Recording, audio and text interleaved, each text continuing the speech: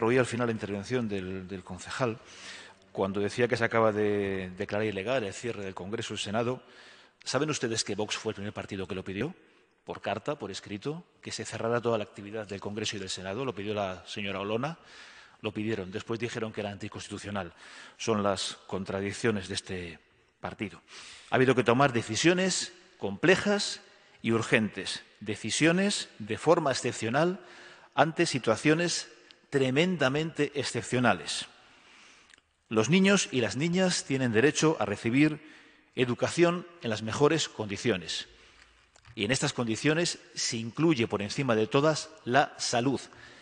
Había que limpiar los colegios de acuerdo a las medidas anti-COVID excepcionales que marcó la Junta y que no se recogían, evidentemente, en los contratos convencionales.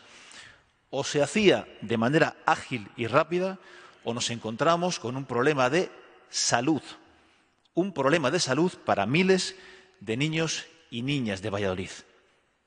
¿Qué habrían hecho ustedes, los que están cuestionando esta decisión? ¿Qué habrían hecho ustedes? Sabemos que desde el punto de vista liberal o ultraliberal, cuanto peor, mejor para los servicios públicos. Educación, sanidad, servicios sociales, desprestigiarlos, minimizarlos para favorecer el negocio privado.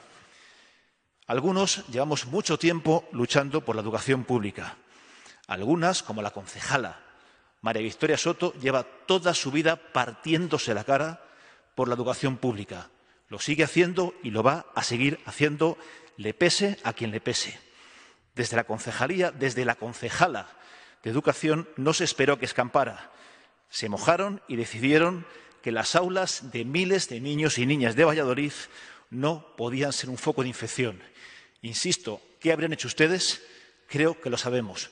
Pobres niños, pobres niñas, si hubiera estado en su mano la decisión. Muchas gracias.